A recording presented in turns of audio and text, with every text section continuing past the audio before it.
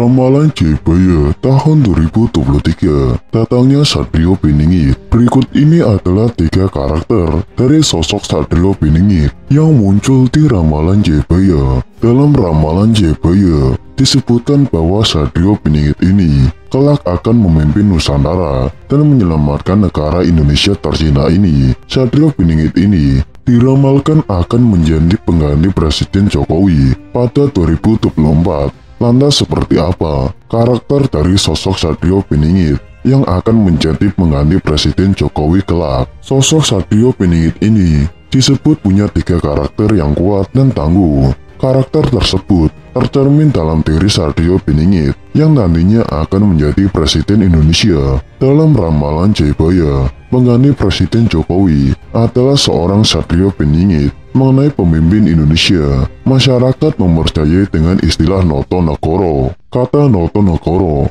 saat ini dipercaya sebagai urutan nama-nama yang pernah memimpin Indonesia atau menjadi presiden. Digambarkan Satrio Beningin ini sama seperti raja pada zaman dahulu dikenal sebagai raja yang adil, yang muncul saat Indonesia mengalami keterpurukan. Sementara yang diramalkan sosok Satrio Beningit ini akan datang saat Indonesia mengalami banyak konflik, bencana alam, dan perekonomian yang buruk. Sosok Satrio Beningit menurut Jayabaya akan memiliki tiga karakter yang mewakili sifat seseorang raja seperti berikut. Yang pertama, Satrio Pinandito. Sosok ini adalah seorang yang religius. Dirinya akan selalu meminta petunjuk Tuhan saat mengambil tindakan. Satrio Piningit ini sangat jujur dan sangat terbuka kepada rakyatnya saat menghadapi masalah yang diembannya. Bahkan, dirinya akan sangat adil, tegas, serta dan dapat menjaga amanah.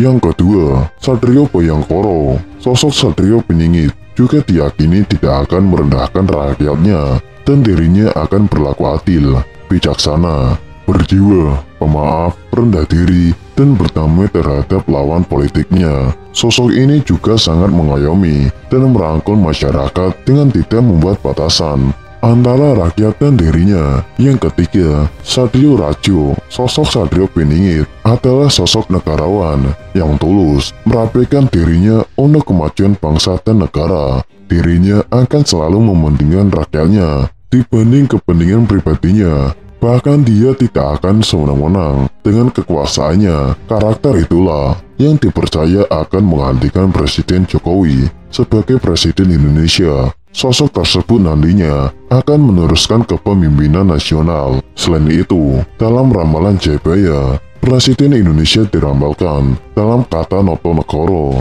yang mempunyai arti menata atau mengembangkan negara. Selain sosok Satrio Beningit tersebut, memiliki tiga karakter di atas. Nama sosok presiden juga terdapat dalam kata Noto Negoro. Dalam kata tersebut, Presiden pertama Soekarno mewakili dua huruf awal, yakni No, yang diambil dari dua huruf yang terakhir.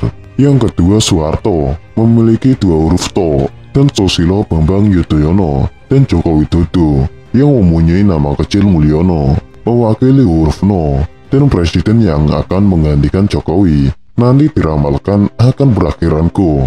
Itulah tiga karakter Satrio Piningit yang akan menggantikan Presiden Jokowi. Juga keterkaitannya dengan ramalan tentang kata Noto Nagoro. Selain itu, Maharaja Jayabaya adalah Raja Kediri yang memerintah sekitar tahun 1135 sampai 1157. Nama gelar lengkapnya adalah Sri Maharaja, Sang Mapanji Jayabaya, Sri Warmeswara, Madu Sudana, Awatara Nindita, Sutri Singa, Parakrakrama, Utungga Dewa.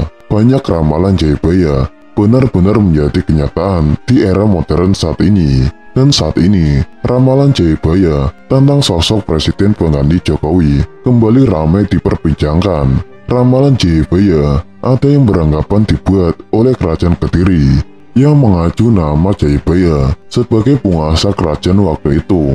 Namun, ada lagi versi yang lebih muda, dibuat pada tahun 1800 hingga masa yang lebih muda, sekitar tahun 1900. Nama bubunya tetap mengacu nama ramalan Jayabaya. Pada tahun 2024 Indonesia akan memilih presiden pengganti Joko Widodo atau Jokowi karena undang-undang membatasi hanya boleh dua kali. Partai politik dan berbagai macam kelompok sudah mulai memunculkan jumlah figur yang diharapkan untuk menjadi calon presiden. Sampai saat ini, belum satupun nama yang merujuk dari semua partai politik yang dilakukan saat ini.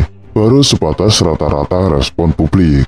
Lantas siapakah pengganti Presiden Jokowi di tahun 2023 mendatang? Dan seperti apakah sosok Satrio itu? Dalam ramalan Jayabaya, pengganti Presiden Jokowi pada tahun 2024 adalah seorang Satrio Piningit. Sosok Satrio Piningit sebagai pengganti Presiden Jokowi tidak hanya di ramalan Ronggo Warsito atau Jayabaya. Menurut ramalan Jayabaya, yang akan memimpin Indonesia tersebut bernama Satrio Piningit dan dia adalah pemimpin yang akan menyelamatkan Indonesia serta mampu membawa bangsa ini menjadi maju. Digambarkan Satrio Piningit ini sama seperti raja pada zaman dahulu, dikenal sebagai raja yang adil, yang muncul saat Indonesia mengalami keterpurukan. Peramalkan sosok Satrio Piningit ini akan datang saat Indonesia mengalami banyak konflik bencana alam dan perekonomiannya yang terpuruk. Menurut ramalan Jayabaya, Satrio Piningit akan memiliki tiga karakter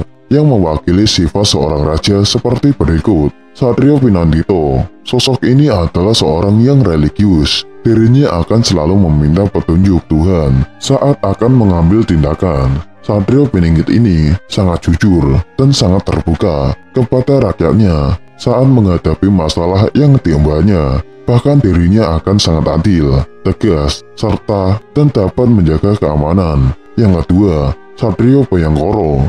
Satrio Piningit ini juga diyakini tidak akan merendahkan rakyatnya dan dirinya akan berlaku adil, bijaksana, berjiwa pemaaf, rendah diri, dan berdamai terhadap lawan politiknya. Sosok ini juga sangat mengayomi dan merangkul masyarakat dengan tidak membuat batasan antara rakyat dan dirinya. Yang ketiga, Satrio Rajo. Satrio Piningit adalah sosok negarawan yang tulus merapikan dirinya untuk kemajuan bangsa dan negara. Dirinya akan selalu membandingkan rakyatnya dibandingkan kepentingan pribadinya. Bahkan, dia tidak akan semena-mena dengan kekuasaannya. Isi ramalan JBaya ada berbagai hal terkait prediksi negara Indonesia. Salah satunya soal pemimpin negara Belanda di tengah Jawa dan kedatangan Jepang tahun 1942 sampai 1945. Dalam ramalan Jebaya, digambarkan kedatangan Jepang